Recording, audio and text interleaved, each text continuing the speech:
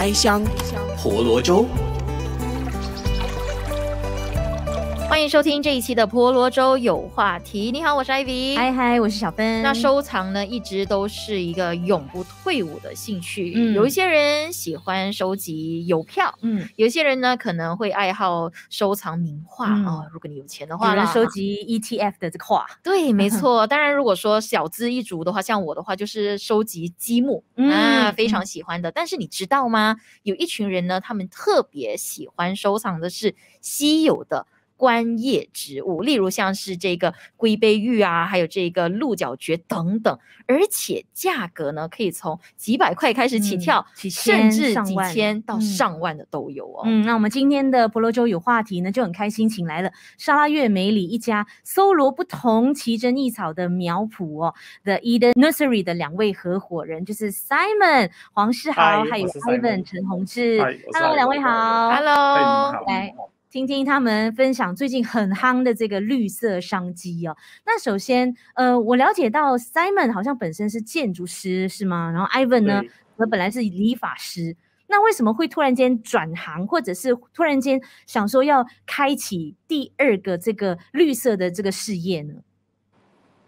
因为我是觉得，比如说 during 这个 MCO 哈，其实它对嗯很多行业它都会有一定的冲击。OK，so、嗯我当初我我是说把这一个当成是我第二个 optional 的职业来来来来去进行。其实之前我们是在家里育苗家里做，因为家里的空间很 limited，、嗯 so、嗯植物多了，我们就需要有一个大的地方去放它。然后其次近年来这些绿植的需求量都很高、嗯 s 嗯 o 我们就搬去一个比较大的一个苗圃，so that 嗯我们有比较多地方好去栽培这些绿植。因为最近呢，其实整个市场也算是供不应求了，因为嗯在在这一个 MCO 的期间，很多人培养出这一个种植绿植的这个兴趣。真 so，我们就按照这一个趋势嗯去开启一个新的这个行业，这样子。嗯，哎，我很好奇，其实刚刚你有说到一点哦，真的很明显的可以感受到的，就是因为疫情的关系，大家都嗯锁在家里面，嗯所以呢，养育这个绿色植物真的成为了一股潮流。那你们两位又是从什么时候开始接触到这个绿色植物，然后爱上，甚至变成了你们的第二事业？MCO 前的半年到一年，半年到一年，No No No，应该是两年前，两年前吗？我先开始。啊，你先开始，二零一九年，嗯，Simon 就开始，其实是这样子啊，就比如说我们工作啊，比如像我的工作，就有时候会非常非常的压力。OK，嗯然后啊、我的同事他就之前就介绍我说啊，其实我们可以开始种一点植物啊。那你每天你啊上班前啊，你看一下植物。啊，或者下班后你看一下植物啊，植物长得好，心情也会比较好。所、以就从那个时候开始就越种越多，然后我买进了非常非常的多，然后都没有卖，只只是买。嗯，所、以我的家里基基本上连走路的的的路都没有了。森林一样，对 对对，小森林就就连车都 parking 在外面。呀，车车车停停停在外面，为了植物，大家全部要挪出空间给他们。所以所 Simon 一开始你始慢慢从的会去卖了。嗯，对，那 Simon 一开始你是从多少钱的这个植物开始投资呢？嗯然后慢慢我相信越买越贵，越买越稀有的嗯这个植物，对吗？头头头反正就是从几十块、几块钱的也有，越买越但是，就慢慢慢慢的，头头嗯。前半年吧，就是会买那种比较基本款的，然后嗯。就是会慢慢越买越贵，越买越贵，然后越来越没有的就会开始的买，开始的买。然后当你当很多顾客啦，还是我本身就发，你会发现家里的位置越来越不够的时候，然后你就会 慢慢去选择你想要的、你喜欢的，虽然它很贵，但是你还是会买，然后就这样子咯，然后再互相的贩毒这样子，就他跟我说，哎，要买这个，然后就买来买去买来买去，就家里就越来越买多。越贵。OK，那其实讲到这个稀有的植物，因为产量非常的少，再嗯。加上说它们非常的有特色，像是啊、有不同的叶子，有不同的颜色啦，嗯。所以呢，其实这些稀有的植物叫做 LV 界的 LV 植哦。植物界的 LV，对植物界的 LV，真的很嗯。想要问问两位，就是你们纵观你们有收藏了那么多这些有特色的这些植物，稀有植物，对，可不可以嗯。来跟我们讲讲他们身上啊、最大的一个亮点是什么？其实是因为基因突变，所以他们才那么稀有，对吗？啊、其实是是这样子，啊、这种植物哈，它有分两种，一种是嗯。人工的让它去基因突变，然后有一种是说它它在原生地，它就会有一整群的基因突变。OK，嗯。So 因为这些东西它的供应量很少，比如说嗯。原生地，它供应量很少，so 它的价钱就水涨船高，就是这些东西都是物以稀为贵嘛。limited edition。对，所以嗯。这些给那些收藏家 collector，他们嗯。他们就会很乐意用高价来买，因为有时候我们会跟顾客说是，有时候有的植物是可遇而不可求，你先你你有钱未必会买得到，so 嗯这些就就就导致了他们非常非常的抢手。嗯，哎、我想很好奇哦，Simon 跟 Ivan，你们是怎么样断定说这个植物是稀有植物？你们怎么看？你们会做哪些功课？是吗？对，是去哪里做 research，还是问一些植物学家之类的？OK，稀有稀有品种，因为一、嗯一般上就那一种单颗的植物，它它整颗是青色的。如果是说它跟平常的不一样，它有带斑，或者是说他们说带颈，他们有带斑带颈这一些的，它它就会是比较稀有的品种，就像刚刚 Simon 说的那一种，好像这种中文名叫春雨。一般上的春雨是青色的，然后这一个春雨它是它是带斑带颈的，然后除此之外啊、网上啦，你可以在谷歌看 Facebook 啦，或者是 YouTube，你都可以看到他们这一些珍贵植物的踪影。所以你看多了，其实你大概大概会 会知道哪一哪一种是啊、基因突变的，哪一种就是一般的。因为这种收藏性是不止马来西亚，是啊、呃就是全球世界全世界。嗯你看美国啊、英国，他们都会在收这些东西的，所以你不管、嗯只要你有关的频道，都会看到这些东西。嗯嗯，带斑我知道，就是有一点像我们的那个身身上长斑的那个感觉，嗯但带对对颈是什么意思啊，Simon？其实斑啊、带颈跟带斑就是一样的意思。带带颈的意思，哦他们他们比较经常用在啊、多肉植物。他们多肉植物一般上是青色的，如果他们有斑的那些，有的人会说带斑，有的人说带颈，所以其实这个就是一个统称，就是这种有的人说带斑，有的人说带颈。然后嗯像这些带斑的植物，它通常分为几种斑，就有粉红色啊，有白色，有黄色。哦像我们这里有一颗那个 Pink Princess 粉红色，女生看到应该都会尖叫，很 喜欢。哦，少女心，少女心。给我看，给我看我只。有带小可来，因为因为哎，我觉得要这时候可能在收听美节目的朋友有点哦不太懂，现在其实可以直接上到我们脸书专业哈，去看这个直播这个视频，漂亮，好漂亮！哦。它有时，而且带斑的植物，它有时会有呃整片是 pink color 的，或者整片是白色的，或者有时它会这样子叫半呃 half moon 这样子，像这样子的。Half moon，嗯，半月，嗯，嗯嗯嗯。哇，这种通常这一颗通常女嗯生看到都会很喜欢。那这一颗多少钱呢？嗯，这冒昧问一下呃两百多左右，两百多、三百嗯多。不会到没有到这么贵。之前它的价钱还可以，还可以还还可以，还可以，在对，能力范围因为这些。现在已经有啊、我们叫组织栽培 tissue culture，、哦，so 嗯它会比较便宜一点，因为一般上以以前是没有这些啊、组织栽培的技术在这个植物上面，so 我们都需要啊、人工去培育它。然后近年来，就比如说像去年这一个 Pink Princess 就就啊发生供不应求的一个情况所以它的嗯价钱一度跑到八百多到千多一颗。哦，所以哇现在已经是有组织栽培，它价钱就比较便宜。嗯，是。哎，我想问一下 Simon 跟 Ivan，到底是有没有一一个组织还是什么去控制这些植物的价钱？比如说它的植物你它的市价是这样子，你不可以炒得啊太高就是说，顶价要设一个顶价，有没有有没有不然的话，它可能会越标越夸张。对有没有这样的一个暂？暂暂时没有没有没有没有一个组织或一个人去控制所以这一或你你可以漫天开价，你可以说哦，我我只有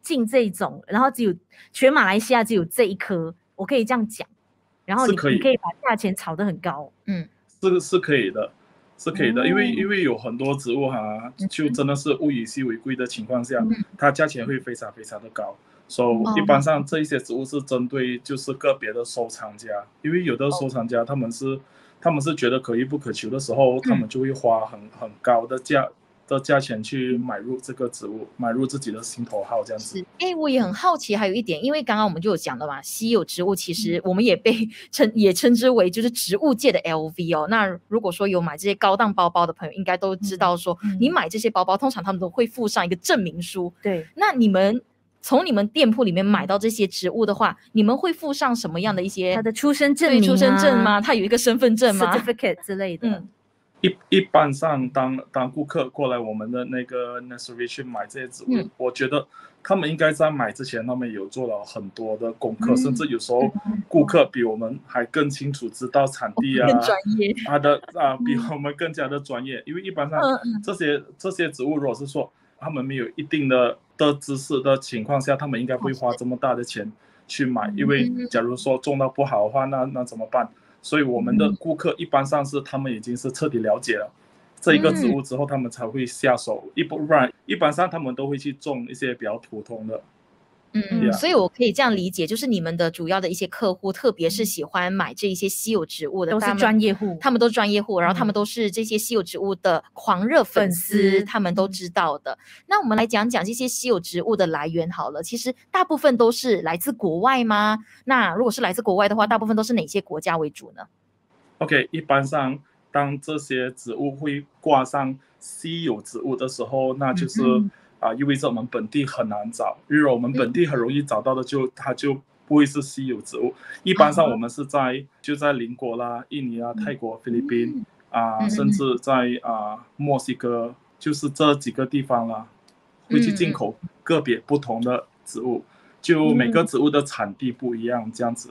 所以如果你要那些带斑带景的啊，你就要去泰国啊，就要去印尼啊，他们就会有比较多这样的选择，因为在泰国他们他们对这些植物的这个培育啊跟嗯研发啊会比较发达一点，所以他们会有比较多这些带斑带紧的植物，因为目前的趋势来来说嗯，带斑带紧的植物会比较容易被客户接受，因为它的那个外它的外观颜色已经是非常吸引了。但是我们马来西亚自己也是有一些特别的植物的，像外国人，有时我们觉得很普通的植物，比如含羞草，我就有看到外国人种含羞草，这是在我觉得就是路边的草，呀、我但是外国人家后院就收很多藏。含羞草，用高价买含羞高价买草。含羞草，对，除了含羞草，我们路边的那个、那个很大的芋头，他们他们也买回去，青色的那个青色，青色，他们也当当宝来种。那个很漂亮啊，真。的很会那选，就就很多东西，斑斓叶要不要？我家很多。你还有我们路边有米林，包一点。还有米粒，还有迷林，迷林也很漂亮，还可以吃呢。蕨类。好了，不要开玩笑了。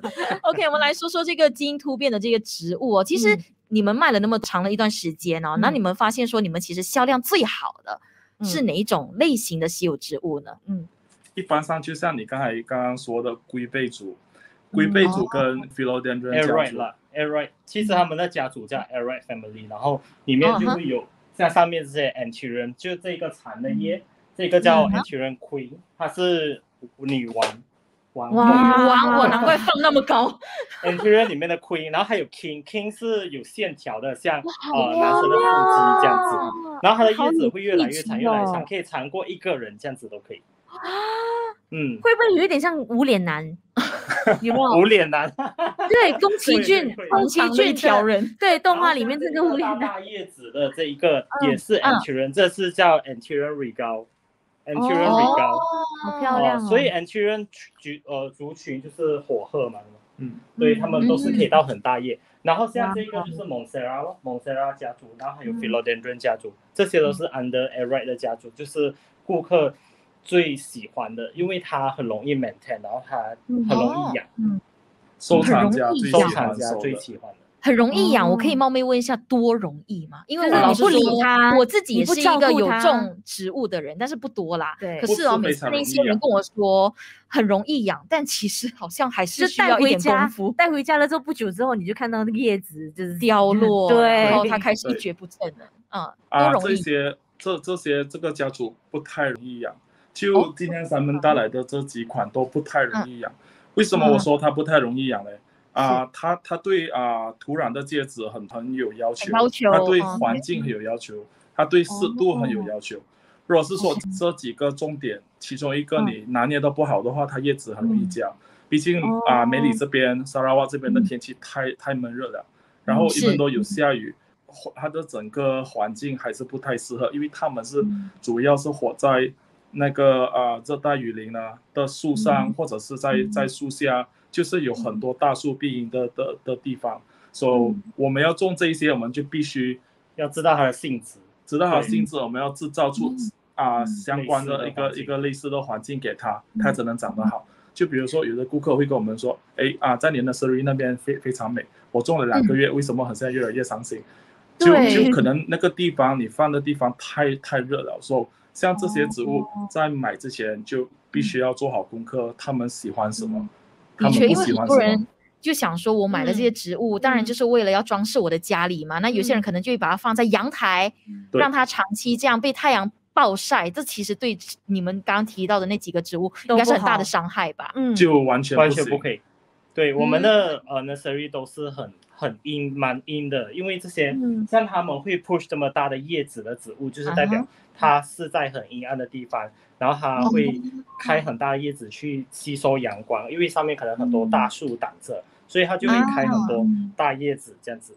嗯，明白。哦，那对于这种很少见、很稀有的这些植物哦，会不会来到了之后就是供不应求？然后你们会想什么办法，有什么技术来让它长得更多、更茂密，可以供应更多人吗？啊，比如说这这一种植物啦，一般上我们也会去培育它，不过它也需要一点时间啦。啊、嗯一般上最快的方式还是还是跟供应商取货会比较快一点，因为哦他们同一个幼苗长大也需要时间，所以嗯。一般上我们都会跟供供应量取货了，我们去找嗯找货源跟供应商找货源这样子。嗯嗯嗯，嗯，诶，刚刚你有说到你们会做一些研发的动作，那你可嗯不可以讲讲你们最近或者是你们之前做的哪一些研究吗？都是用什么样的一些方法？研究吗？一啊、嗯。我们一般上我我们之前做过的啦，就是嗯种子，我我我我们就就是会去啊、育苗，就就是会去把两种不同的植物，然后我们去做一个 hybrid 这样子，然后它有一个新的品种出来。对，哦。嗯，不过不过啊一一一般上我们做的不是这一些了，我们做的是另外一个像鸟窝蕨那样子的 anthurium。哦，不过现在它还在啊、生长的阶段，所以不能够拿拿拿来给你们看这样子。OK，好，那我们就成功的再给我就可以们看吧。对，就可以把两种不一样的呃品种，种然后跟它做交配，然后新的品种上面就会有它这两种的特质在同一个上面。嗯比如说我们之前做过的就是一个黑黑色的鸟窝蕨，黑色的鸟窝蕨跟另另外一颗啊带斑的鸟窝蕨啊嗯。去去去混种，所以它出来的的101的新品种，它就会有带黑色，它也会有带哦。带斑这样子。哦，不过这这这一个现在已经是在成它的还在成长阶段了。不过我们已经可以看到它有它有斑在它的那个那个幼幼苗上面了。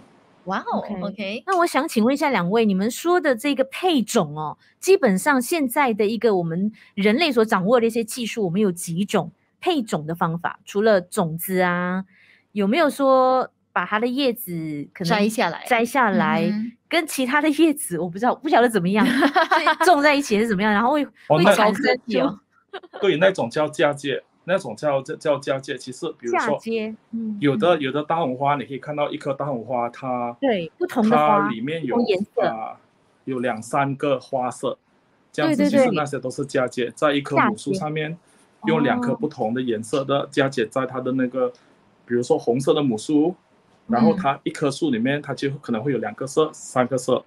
哇，那啊，其实这些都是很平常的一个技术了，就其实很多人都在做这。像我们主要之前做过的是授粉，我们就是啊、哦把把几棵不同的植物，我们帮它授粉，有种子了之后，然后它出来的就就会是啊，它们那几颗相关的特性在一颗里面。哇哦，这种授粉的成功率会可能会比较高一点吗？会，这这个成功率是蛮高的。哦，但授粉不是应该要有花吗？但这些观叶植物都是叶子啊，那它的嗯粉哪里来呢？一般上啊、有有很多能够授粉的植物，它们都会有花的。它们它哦。不过它们的花就是那种用来授粉的花，它不是那种观赏性的花，其实这些观叶植物它也是会开花，但是它的花就是、哦。就是只会有那条枝，然后它不是、它是没有不是我们传统想象的那种真的开了一色的朵出花来，对对对，通常都不会有颜色的那种。对，嗯。都是白色、青色这样子。然后我们修一种，修你们一种那个就是交配出来的啊、不是我们交配，是交配出来的那种的。嗯，哇，好啊，但这一，个它是交配这一个，啊这个叫 Philodendron verrucosun，嗯哼，然后这个叫 Melano，这是其中一个是哈巴巴或妈妈啦。长得蛮像的两位，嗯，什么？两个长得蛮两位蛮像。长。得蛮像的。其实它的这一是哈巴。颗的特性是，它嗯是嗯，它的会有点荧光，然后它后面是红面的，红然后色的这边有毛，哦，然后这一嗯个的话是它是非常的雾，呃，非常的叫什么 velvet，就是很绒面，然后它后面哦是没有颜色的，诶，然后它交配出来的就是这一颗，这个是它的孩子，这两颗交配出来的，它这所以它个叫所以它的反面是红色的吗？红色跟它后面就是红色的。哦，妈但是它的形状，嗯呃嗯嗯一样的雾长得面，它差不多它改天大了，它会拿到这个的雾面，然后拿到那一颗的红、红色跟呃它的荧光这样子。好好玩哦，对，真的好像做 science project 有没有？真的 就两个掺在一起，然后会产生什么样的一个 x 一个一个结果这样子对然后如果要成功啦，对不对？如果失败如果了怎么办你？自己发明一种新的品种，比如讲叫嗯 IV，、嗯然后你也可以把它命名为你的名字这样子，比如在 Philodendron IV 这样子，啊呀，我也很期名字来待。是常春藤啊，我很希望就是那用我自己的名字之后，我要去哪里注册，说的全世界都可以来买我的 我的其 ID？实如果你你没有呃，就是现在没有人有这个品种，然后你只要放上网有这个品种了，然后你放你的名字，大家就会跟着这个这样子。然后然后就会去找 Philadelphia IB 这样子。对对对对对然后价钱就随我开。哎，物以真的是这样贵？吗？那我就要嗯开了。那你们两位呢？你们有没有自己的 Simon 和 Ivan 的品种？对，还没我有，们还没有这么厉害。还没有这么厉害，这个真的是在培育吗？还没长大。你们刚刚在培育的那个，可能以后可以叫 Simon and I 对呀 Ivan 之类的。对呀、对呀、好酷哦。，OK，那其实我们每次看你们做直播、然后看到你们真的有好多好多不同的这些观叶植物，其实你们是从什么样的管道来收藏到或找到这些植物们的？我们呐、嗯嗯比如说啦，好像之前我们还没有开始卖植物的时候，我们是收藏家。那我们只要跑到哪一个国家，呃，喜欢的我们都会把它带回来。OK，所以就是就是怎怎怎么说，就是世界各地把它收罗回来。然后现在其实我们们我们的去旅行，然后看到，然后就把它装带回进行来吗李箱带回来。对还是怎么旅行啊，样或者上网嗯买啊，或者哦呃跟朋友哦买啊，这样子都有交换啊。不不过去旅行，我们是需要有有 import permit 啦，我们要要有 import permit 那对些对，啊，对进口准证那些，我们才能够把这些植物带进来，都是要用一个一个对的一个渠道去嗯寄进来，然后我我完完全全不可以自己带对，呀。那个就走私了嘞。对，那这个准证要去哪里申请呢？嗯啊，农业部啊，农业部申请的，对会难申请吗？他们会啊，limit 其、实是是会会有会有一点难度的。OK OK 对 OK，好，那我们哦看到其实你们卖的这个植物啊，其实有几十令吉，有些就嗯是上千，甚至还有上万的。嗯，所以我们很好奇，你定价方面你们是怎么样去拿捏的呢？是不是当然越稀有就越贵啦？那会不会有说越大颗就越贵？有这样的一个说法吗？会啊，其实植物啊，它都是嗯啊，根据它的一个大小，价钱不一样。然后我们的价钱一般上是跟着啊市场上的的市场价来来定。再来就是说啊，我们会跟我们的供应商，根据供应商的本钱的价钱去定这个这个植物的价钱。其实我觉得最近植物的价钱它的浮动会很大。OK，嗯啊，比如说我们啊，第第一个 batch 我们可能会拿到，比如说一百块，第二个 batch 可能会是一百五十。其实这些都是看这些植物的供应量，如果供应量很少的情况下，反正这些东西都是水涨水啊水涨船高，它的价钱都会越来越高。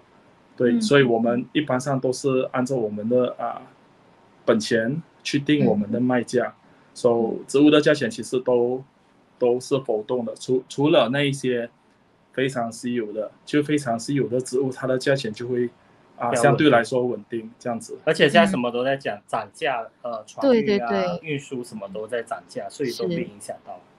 会不会有顾客可能上个月啊，你刚刚讲这个幅度是非常的不定的嘛？那如果说可能上个月在你们这儿买啊多少钱，嗯，然后可能下下几个月飙上去，对有遇到吗？会有。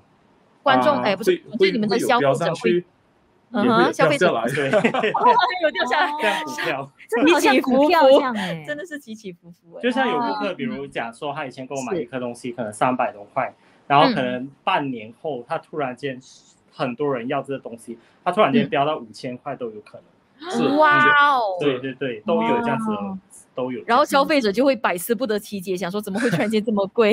对对对对对，就就就打个比方了，就去嗯年啊、去年刚刚刚刚开始 lockdown 的时候，我卖过一颗龟背竹是啊三百块，嗯然后啊、今年今年就过了一年后，一颗龟背竹啊、我们一样的 size 卖到两千多。所以有时候我会跟顾客开玩笑说，有时候这些东西比我们投资金啊、放定期啊这些都便宜的时候，你赶快入都场，对都都还要值得而且它还会生长。对，它会增值，嗯就好像买 LV 包一样的概念啊，对，或或一些爱马仕啊这些名牌嗯。包的概念是一样的。对。对啊，那可不可以请两位来告诉我们一下，你们这个苗圃哦，你们在当初在建立这个苗圃的嗯时候，是有参考一些国外一些成功的 nursery 的一些呃他们的范本吗？还是对，还是你们是怎么样建的？然后它是多大？它有什么样的一些必备的条件？我们是老实说了，我们我们是没有去啊、去参考任何的那些苗苗圃，我们是按照我们手上的资金去 去哦。去建这个，的资金，当去建这个苗圃。是放多少钱呢？一共包括我们啊、最近刚建好的那个，我们是啊、一年有一年嗯。还没有一年，因为我们那时过年的时候，呃我们过年的时候才嗯，从家里搬过去新的地方，那边差不多嗯四亿加大，但是我们没有用完所有的地方，那现在暂时现在我们用了差不多两亿家的地，用了啊、接近一百二十万去、哦。去建，所以这个这个这个遮阴啊，然后有要有啊。呃一个浇水的系统啊，我不会花那么多钱，想必应该是因为有些设施要特别的入手，特别特别的设对对？计啊，有没有？其实我们头头还没有花这么多钱，是因为我们呃头头刚刚搬进去的时候就花了一笔、第一次第一期花了一笔钱，然后我们吃一两个月过后就差不多放满那个地方，然后我们又装修了一次在年终，嗯。年终过后又放满了，然后差不多最近年尾现在又扩充了，两位真的很贪心哎，所以我们一年内装修了三次。对啊，十个月我们装修了三次，所、以所以其实你们花最多钱，是因为你们不断的扩建、扩建、扩对建。不断的扩建那边真的花了很多钱，因为现在铁什么都很贵，几乎都涨价了一百一百八千。嗯，OK，哦，那它的这个遮阴遮阴的系统是完全需要覆盖起来吗？还是嗯有点像玻璃屋的概念？有没有？哦没有，我们我们就是用黑网罢了，用黑网。黑网包起来，然后雨是可以淋下，也要看什么植物，有的不可以淋雨，有的可以淋雨之类的。哦，那像年尾天嗯每天滂沱大雨嗯，你们就让植物这样子淋雨吗？对，比如说有的植物它们它们非常怕水，我们就会把那一些怕水的植物放在有有屋顶，哦，就放在屋屋檐下，因为其实我们有有有的区域是有透明的屋顶的，所以嗯它会有阳光下去，不过它不会有雨水，所以怕水的植物我们就会把它放在那个区域。所以我们的 nursery 那边，其实我们也分了非常多个区，有的有的区是非常阴凉的，有的区是嗯很很多阳光，所以我们会去啊、把那些植物分开来，有的就需要阳光多一点，不能雨水；有的不需要太多阳光，要雨水。所以我们会有很多个区放不同不同的植物这样子。哇，那当中最哦娇生惯养的植物，最像公主一样哦，就是后面这个女王了。女王湿度什么呃土嗯壤，所有都要控制的好。对，哇，所以是不可以太土壤太干，然后也不可以太湿，它的温度大概要控制在几度？有你们有这样的讲究？不要太不要超过三十五，哦不要哦曝晒没有了，一一一般上我们我们比较注重湿度，湿度。湿度湿度要在八十五到到到九九十以内。它的所以你们可能旁边要放加湿器，你们还会放加湿器在旁边，确保这个空气是啊，目前够那那湿的 s 有我们是没有用加湿器，因为我们的那个面积太大了，我们面积太大的时候，我们哦会着重在放更多的黑网，把那个区域让弄到更加的阴暗。当它够暗的时植物，够多，植物够多的时候，它就会啊很，潮湿。它就会很潮湿，它就会它就会比用加湿器更好。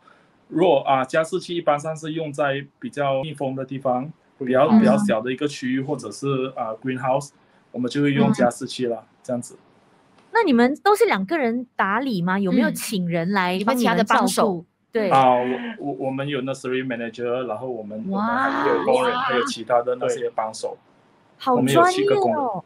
哇，包括你们两位七个吗？还是 要轮啊班对吗没有没？有没有包括我们两位，不不不包括我们，不包括？所以整个团队有九个人。对九到十个这样。哇他们的他们的工作除了怎么样帮嗯你照顾，对要浇水，然后要肥观察他们有施肥，叶子那有没有什么虫害，对嗯吗？对，还要还要嗯施肥，还要还要育苗，还要哦。还要帮我们嫁接，就还要帮我们做嗯。Live 也是，还要帮我们做，还要帮我们 packing，还还要帮我们们寄，寄货，还要帮我们送货。因为有我们俩，我们以前在家的时候，刚刚开始真的是两个人做，真的是嗯做到半夜两三点都有吧。两三点，啊哇从从心情很好做到心情非常差。然后第二天早早上七八点还要起床去做工，从看到植物很疗愈，到后面看到植物很压力。没有没有没有，刚刚刚开始就嗯就早上八点开始 packing，然后心情非常好，因为单很多，然后哇，今天有六十个单要 packing，pack 到好开心。包到包到愤怒，呀，包到包到包到忘傍包到就是傍晚的时候已经要生气，要骂人，最好不要跟我讲话。然后 包到半夜十二点的时候，基本上就没有讲话，没有聊天的，没有聊天，就是在那边像丧尸那样子包包包包包，不能讲话了。像两机器人，点就是包了，默默回房间睡觉，就是这样。就好像就好像那种结婚多年的夫妻，对开始很 爱到后面热爱，刚开始热情消退，热情消退，热情消退，只剩下什么柴米油盐，奔跑水，太好笑了太好。笑了啦。那嗯哼。我我是我很好奇的，就是在嗯。浇水方面哦，像女王啊这么金贵的植物，会不会需要特别的水？比如说过滤水啊，或者是 哦没有 Avion，有没有？要喝 Avion？外的矿泉水法国进口的矿泉。水。有吗其实没有，但是有的人可能会特嗯。地去过滤掉那一个叫什么 chlorine，对对对水里面，chlorine，有的人会，但是我们就不不理，就全部用一样的水就对了。一般上我们我们我们园里的植物哈，我们都不会用那种嗯。娇生惯养的方式去照顾它们，哦因为我们我们太多了，毕竟一一整个园太多。当你孩子很多的时候，你也不知道你要 focus 去好好的去去教哪一个孩子，所以你只能够给我很喜欢他们 Ivan 很幽默，一视同仁啦。，一视同仁啦，对你知道也可以省很多的时间，省很多的对。那肥料方面呢，会不会嗯每一种植物都都吃不一样的肥料？嗯，一般上开花的植物，我们会给它成长肥跟开花肥，我们会两个星期放成长肥，哦两个星期放开花肥。像一般上这种绿叶的哦，我们我们有的会放成长肥慢性肥，啊，或者是啊慢慢性肥，然后让嗯叶子比较 比较绿色的肥也是有。就不同的植物，我们用不同的肥或者让它的斑比较多的肥都有，呀。都你们真的好有耐心哦！真的，我真的觉得每一颗植物在你们手头上真的像 baby，你知道，小公主、小王子，你知道吗？所以也可见了，这些植物真的太珍贵了幸福。哎，有你们来真的遇到你们，可是我很好奇哦，你知道，因为你这么珍贵嘛，这些植物，你知道嗯有大大小小，还有女王嘞，所以说你们会不会很担心说，可能 外人觊觎你们的苗圃，会来偷，偷？你们的防范措施有没有做好？有没有防所盗锁以所以或者是所以现在 CCTV？我我们我们的我们放这些植物比较贵的植物的区域，其实我们都都全部都有上锁起来。一般上，假如我们不在苗场的情况下，我们是不不让人参观的。然后我们现在那边也也有放 CCTV 跟 alarm，然后我们的旁边都有那种很硬的铁网，全部围着这样子。哇只要那个铁网一动到，就会 alarm 就会响这样。然后我们的苗圃那边有五嗯啊、六六个工人在那边驻守，都哦应该守卫都收发嗯还是 OK 的。哇，真的就是像，嗯真的是像公主哎、你知道吗？在城堡 外面有六个守卫护着她。好幸福哦。那经营一个苗嗯圃哦，其实你们两位从呃就是搭建啦、管理啦，嗯，其实遇到最大的挑战是什么呢？我觉得还是还是人力，因为因为这些东西毕竟是机器做不了，我们还是要用人力的去人工人工去做，所以我觉嗯得人工也是一个最大的问题了。一般上植物，啊、如果是啊、人手够的情况下，我们可以教他们很多东西，然后让他们去帮我们做这样子。嗯，对，嗯所以一般我觉得最大的问题还是 manpower 就比如现在的孔抛，我们浇水而已，可能就需要嗯三个小时吧。呀。对，两个人讲，哇，嗯你们一个月的水费多少？不能那么细。水费还水费还好啦，水费还好没有开玩笑少过100开玩笑少过一百。OK，哎，不过说真的，你看哦，你们那么用心的照顾这些植物，然后到把它们卖出去，有没有？嗯然后如有没有遇到会很心痛的时候？很心痛的嗯时候，就是可能消费者被消费者可能不太会照顾，哦，把它照顾死了。啊，对，有没有嗯遇过这种嗯状况吗？会有很多啊，所以一般上顾客很很多顾客跟我们买了植物之后，对不对？他、嗯他还会再联联络我们啊，然后嗯叫我们跟他们分享一下啊怎样照顾的心得啊，或者他有出新叶，嗯他就会拍给我，我们说哇，新叶很漂亮啊，很大了啊，这样这样。就就就真的是像照顾孩子那样，嗯我们把孩子卖出去，然后他们照顾，他们就跟着我们一直生，然后一直卖。我们是专门卖，我们一直生我们就是 update 我们这样子。呀、那通常通常他们告诉你们的经验，比如说啊，怎么会这样子呢？我我本来是好好最大的的问题是什么？，对它最种死大困了，或者叶子好像慢慢越来越卷，这样子，他们嗯通常会犯什么样的错事呢？一般上比较多的是啊、他们不太了解这个植物，它是喜欢水，或者是不喜欢水，喜欢热还是不喜欢热。So、OK 很多时候他们会会把一棵好好的植物淹死，他们浇晒死淹死、晒死、干死、过死，所以这或者放在房间吹冷气，冷死。对、啊，就有的植物不能放在房间，他就把它放在房间当刑 baby 欸我觉得。这样子养，然后到最后植物 baby 死掉了，他就什么都 baby 死还有掉。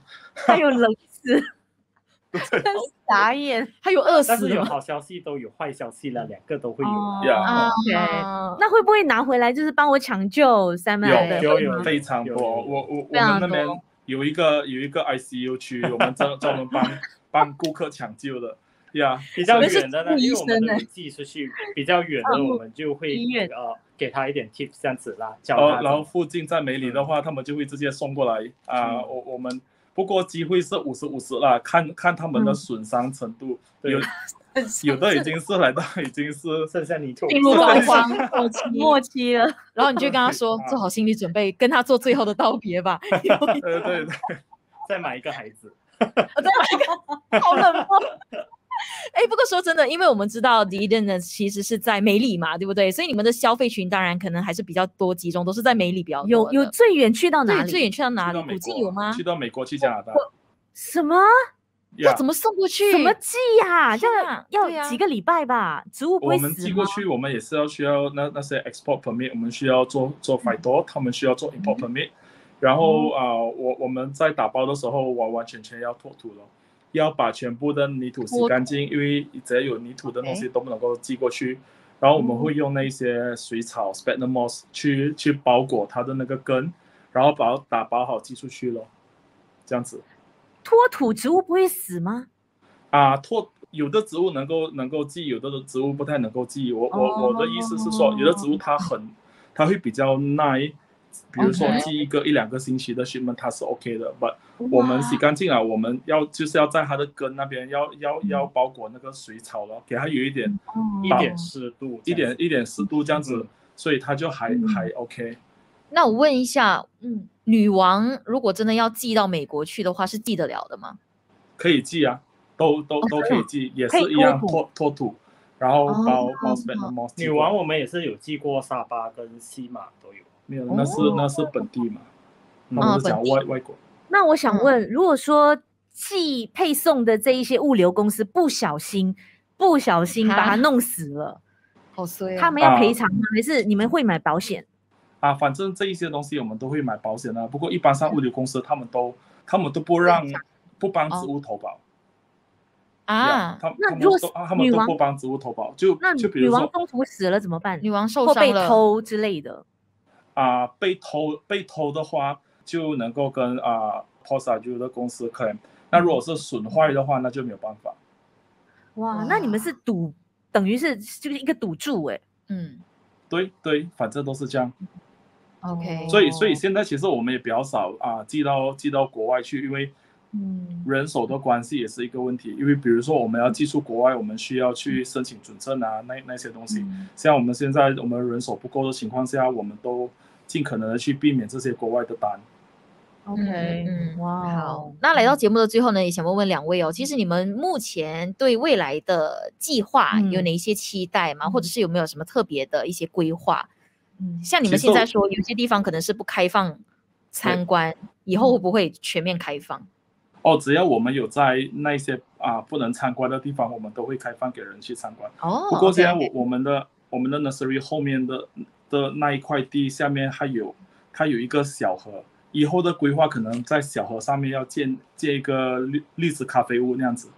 哇，我要去找你们，所以我们就会被女王包围，然后在那边喝你咖看，然后小桥流水的感觉应。该要被女王跟国王，哇好美哦，好好美的一个，好美的一个计划哦，就被你们的孩子包围，请你们一定要执行好吗？真的。那未来你们希望希望会有更多人或更嗯多的竞争者投入到这个领域里面嘛来吗？跟你们竞争？其实是 OK 的，因为因为其实有竞争才有进步嘛，对吧？对，然后嗯。也会有更多的人帮我们去推广这一这一嗯这一个绿植的这个这这个行业，其实我觉得是好事来的。嗯嗯嗯嗯嗯，所以希望未来会有更多的人加入嗯。到这个绿色经济里面来哦。对对对，好的，谢谢李一登的这个 Simon 还有 Ivan 加入到我们今天的讨论来，跟你们聊天非常开心，太开心了，太有趣了。对，也谢谢你们的这个光临谢谢谢谢谢谢你们，有机会我们去美里找你们哦，去看你们好的好的欢迎你们来谢。看你们的孩子。对，谢谢，拜拜，谢谢拜拜拜拜。